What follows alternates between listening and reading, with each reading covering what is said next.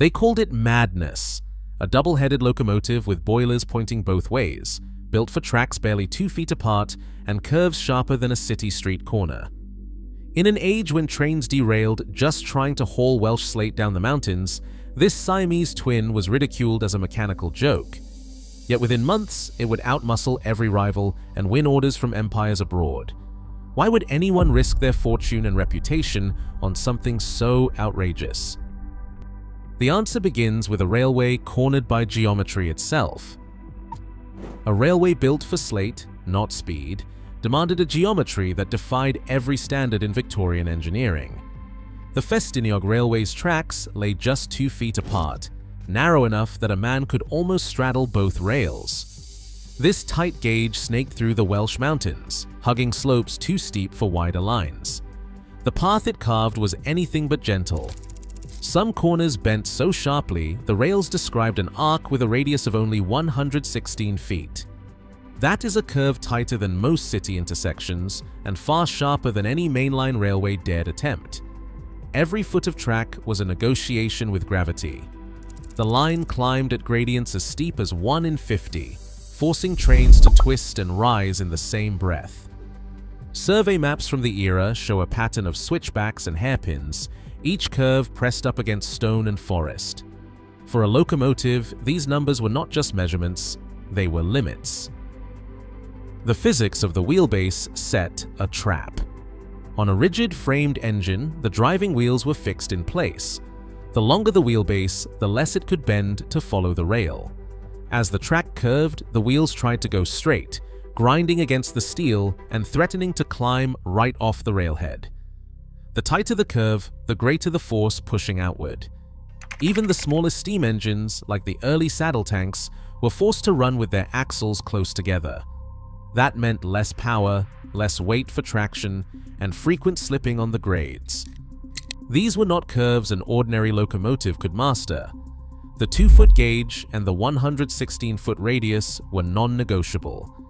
They set the boundaries for every design that followed, and they left the Ffestiniog Railway searching for a machine that could bend without breaking. Before steam, the Ffestiniog Railway ran on muscle and gravity. In the damp dawn, teams of horses waited at the foot of the slate quarries. Their job was simple but endless. Haul empty wagons up the mountain, one slow mile after another, then trudge back down beside the loaded cars as they rolled to the sea under their own weight. For the slate barons, this was a daily bottleneck. Every year, the mines produced nearly 100,000 tons of slate, but the pace of the railway was set by the stamina of tired animals. On a good day, a single horse might pull six empty wagons up the grade. A full train required a dozen animals, all harnessed in line, led by drivers who knew every rut and stone by heart. Downhill, gravity did the work, but at a cost. Loaded wagons raced ahead, brakesmen riding the iron with wooden shoes, praying the curves would not send them flying. Accidents were common. Horses waited at sidings, chewing through their feed while men coaxed the empties back up. The round trip could swallow half a day. In winter, snow and rain slowed everything to a crawl. Each slate shipment was a gamble against the clock. Delays meant missed ships at the harbour, lost profits, and angry letters from London. The railway managers counted every pound spent on oats, every hour lost to animal fatigue. By the early 1860s, the pressure was mounting. The mines demanded more slate moved, faster and cheaper. Steam promised a solution, but on these curves, no ordinary engine could survive. The men and horses of Ffestiniog were caught in a losing race, outpaced by the mountain itself. Robert Fairlie's patent, filed in 1864 as number 1169, laid out a machine that defied every convention in locomotive design. Instead of a single boiler stretching from cab to chimney, Fairlie's blueprint showed two boilers mounted end-to-end -end on a single frame, each projecting out in opposite directions. At the very heart of the machine sat a single oversized firebox, a furnace built wide enough to feed both boilers at once. This central firebox was no afterthought. It was the core of the engine, designed to burn hotter and longer, sending heat in both directions through a pair of boiler barrels. The fireman's task was to keep this single fire roaring, ensuring both halves of the locomotive generated full steam. Each boiler supplied its own set of cylinders, one facing forward, one facing back. These cylinders were mounted on swiveling bogies, allowing the entire assembly to pivot beneath the rigid main frame. Steam left the central dome and traveled through flexible copper pipes, snaking down to the engines on each bogie. The bogies themselves were more than just turning wheels. They were the source of the locomotive's power and its agility. With all eight wheels powered, weight was distributed evenly, maximizing grip on the rails even as the track twisted through impossible curves. The symmetrical design meant there was no true front or back, the locomotive could run in either direction without turning around, a rare advantage on a railway with no room for turntables. The cabs and controls were clustered around the central firebox, squeezed between the twin boilers. This arrangement made for a cramped workspace, but it allowed a single crew to operate what was in effect two engines at once. Fairlie's patent diagrams reveal the logic behind every line a machine engineered to conquer the sharpest bends and steepest grades, not by brute force, but by flexibility. The double boiler layout, the central firebox, and the swiveling bogies all served one purpose, to keep the locomotive on the rails no matter how the track twisted ahead.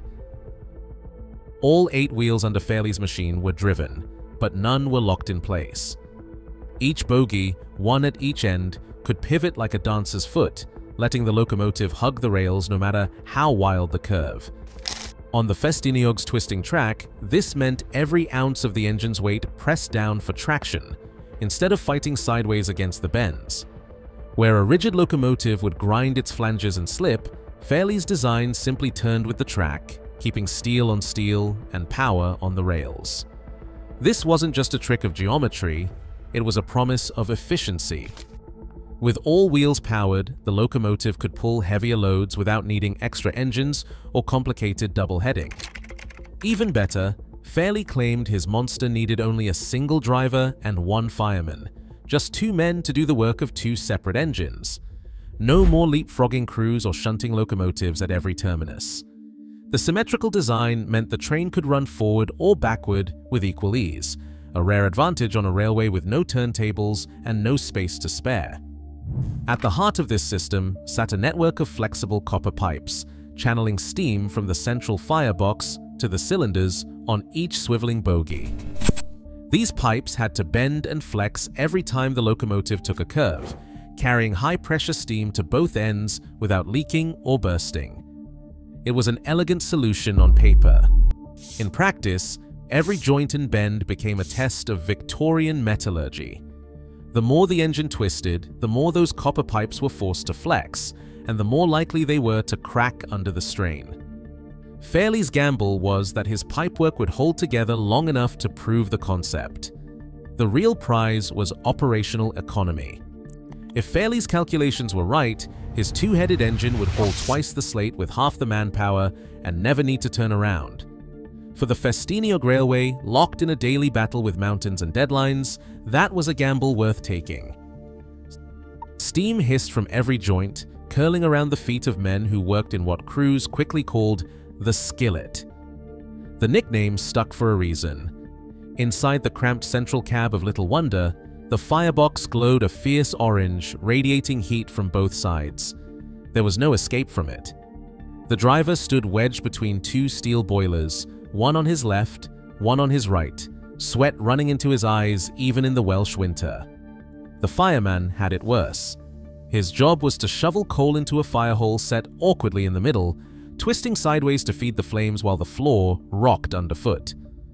Every swing of the shovel meant bracing against the lurch of the engine and the sting of heat on his back. Oral histories from Ffestiniog crews remember the cab as a place where boots stuck to the floor and shirts clung wet to the skin. On uphill runs, men learned to keep a spare handkerchief just to wipe their faces and to watch for copper joints that could fail without warning. The flexible steam pipes, Fairlie's pride on the drawing board, became the engine's weak spot in practice. They were made of copper, chosen for their ability to bend as the bogies swiveled. But with every curve, the metal flexed and strained until cracks opened up under pressure. Steam would spray out in sudden bursts, sometimes scalding, sometimes just blinding. Crews listened for the telltale hiss, knowing that a split joint could turn the cab into a fog of hot vapor in seconds. Maintenance men at Boston Lodge kept a steady trade in patching leaks and replacing lengths of pipe, but the problem never quite went away. Some firemen joked it was like working inside a teapot that never stopped boiling over. Outside the railway, the mockery was relentless. Victorian journals called Little Wonder a circus freak and a push me, pull you. Cartoonists drew it with two faces and a driver doomed to roast between them. On the platform, passengers peered at the engine and laughed, asking which end was forward and how anyone survived the journey. For the men in the cab, the jokes wore thin. They knew every run was a battle with heat, sweat, and the constant threat of a leaking joint. Yet they kept at it, shoveling and steering through the mountain curves, determined to prove that Fairlie's monster could do the work no other engine dared attempt. February 11th, 1870. The Ffestiniog railway station at Porthmadog bristled with anticipation. Engineers, dignitaries, and skeptical journalists crowded the platform, eyes fixed on a contest that would settle months of argument. At the center stood Robert Fairlie, calm in the chaos, flanked by the men he hoped to impress, the Imperial Russian Commission, British railway lords, and technical observers from as far as Mexico and India. The challenge was simple, but the stakes were enormous. First, the Old Guard. The locomotive prince, a veteran of the line, was hitched to a standard train. 50 tons of slate and timber wagons strained behind it. As the whistle blew, the engine dug in, wheels spinning against the rails. It inched forward, then faltered on the incline, slipping and groaning, unable to conquer the gradient with its rigid frame and limited adhesion. The limit was laid bare for all to see. Then came the spectacle. Fairlie ordered every available wagon coupled behind his creation. The train stretched nearly 400 yards, a serpentine line of slate, timber, and passenger cars that wrapped around two curves at once. The crowd murmured, some shaking their heads, the weight was staggering, more than double what any engine had managed on this line. With a signal, the firemen stoked the central furnace, and the dual whistles sounded, one at each end of the machine. Steam surged through the flexible pipes, feeding both sets of cylinders. The little wonder moved as if waking from a dream, first a slow crawl, then a gathering momentum. The powered bogies gripped the rails, distributing force through every driven wheel. There was no slipping, no hesitation. The train wound through the tightest arcs, the front boilers swinging out over the embankment while the wheels stayed true to the rails. Spectators watched as the impossible unfolded. The locomotive not only hauled the entire consist, it did so smoothly at a pace that left the conventional engines far behind. Russian commissioners scribbled notes, faces lit with surprise. By the end of the day, Fairlie had secured orders for his design. The laughter stopped, the two-headed monster had turned ridicule into a revolution, and the world's most challenging railways were suddenly within reach. Steam thundered through the highland canyons of Mexico, where the railway from Veracruz to Mexico City clawed its way up more than 8,000 feet in elevation. Here, the Fairlie design faced its greatest test, not a slate branch winding through Welsh valleys, but a main line that rose from tropical jungles to the thin air of the Altiplano. The gradients were relentless, often steeper than 1 in 25, and the curves twisted through ravines where a misstep meant a plunge into the abyss. American and British locomotives tried and failed, their rigid frames no match for the contorted rails of the Infiernillo, known as Little Hell, where the mountains seemed to fight every mile. Mexican engineers ordered something bigger. The Fairlie monsters that arrived dwarfed their Welsh ancestors, these engines tip the scales at nearly 100 tons, their double boilers stretching the length of a boxcar, each end perched on a swiveling bogie built to hug the rails. The firebox, still at the heart, burned with the same ferocity, but now it fed a machine that could haul freight and passengers upgrades that would stall a conventional engine in its tracks. Crews learned to trust the articulated grip, eight powered wheels, all biting into the steel, even as the track curled tighter than a city street. For nearly 40 years, these double-ended giants worked the Mexican main line. They became legends among railwaymen, known for their ability to pull full trains through hairpin bends and up impossible slopes year after year. The Fairlie's two-headed silhouette, once a curiosity, became the backbone of mountain railroading in a country where the only way forward was up. The design that began as a gamble in Wales now proved itself on a scale and in a climate that few Victorian engineers could have imagined. The double Fairlie's reign over the world's harshest railways was not endless. By the early 20th century, a new rival arrived, the Mallet articulated locomotive. Instead of two boilers and a maze of flexible steam pipes, the Mallet used a single long boiler with two sets of driving wheels beneath, hinged in the middle. That meant fewer joints to leak, less heat crammed into the cab, and a simpler job for the maintenance crews. The Mallet's design could be built even larger, with fewer headaches and lower costs per mile. For accountants and engineers alike, the trade-off was clear. The Fairlie's double-headed complexity was outpaced by the Mallet's straightforward power. Yet in Wales, the story did not end with obsolescence. The Ffestiniog Railway made a different calculation. Their line still twisted through the same impossible curves, and no off-the-shelf locomotive could match the Fairlie's agility. So, while the rest of the world moved on, Boston Lodge Works kept the tradition alive. In 1979, they rebuilt Merddin Emrys, the oldest surviving double Fairlie, using modern materials and improved flexible joints. Thirteen years later, they built David Lloyd George from scratch, a brand new double Fairlie fitted with a superheated boiler and oil firing for efficiency. Both engines still run today, carrying tourists and slate through the same mountain passes that stumped Victorian engineers. Preservation volunteers and Ffestiniog's chief mechanical engineers point to the careful balance they have struck.